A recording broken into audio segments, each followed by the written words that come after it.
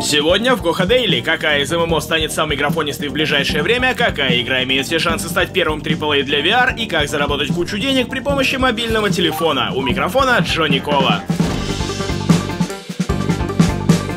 Авторы Black Desert, кажется, затеяли что-то интересное. Студия Pearl Abyss заключила контракт с Silicon Studio, японским разработчиком различного графического ПО. Свое время с ними уже успели посотрудничать From Software в работе над Bloodborne и Dark Souls 3. Теперь же и без того графонистый Black Desert обзаведется передовым движком обработки оптических эффектов. А в Silicon Studio так и вообще уверены, что совместными усилиями они смогут явить миру настоящую Next Gen графику в ММО. Крупным студиям, таким как Blizzard, в наше время приходится очень непросто. Дело в том, что к любому их шагу приковано огромное количество внимания. Чтобы ты понимал масштаб трагедии, ребята даже не могут спокойно разместить вакансии, так как по сети сразу же начинают расползаться слухи.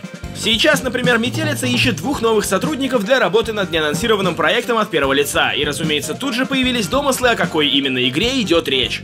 Кто-то уверен в том, что они возвращаются к работе над StarCraft Ghosts. Остальные убеждены, что речь идет о крупном дополнении и, возможно, сингле для Overwatch. Ну а ты как считаешь? На минувшей E3 Bethesda обмолвились о том, что работают над Fallout 4 для виртуальной реальности. И вот сейчас стало известно, что это будет не просто расширенный режим с поддержкой VR, а полноценная адаптация. Если тот Говард не преувеличивает, то, возможно, таким образом они станут первыми, кто завезет на HTC Vive полноценный AAA проект. А дальше, чем черт не шутит, и до остальных платформ недалеко. И раз уж заговорили про Bethesda, стоит упомянуть о том, что тот рассыпается в комплиментах новой консоли от Nintendo и фактически подтверждает, что Skyrim мы однозначно увидим на Switch. Вот и славно.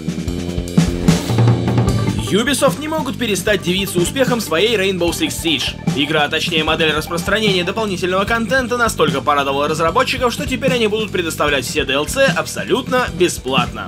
Как говорится, еще один все понял. Спасибо, Ubisoft, приезжайте забирать плюсик в карму.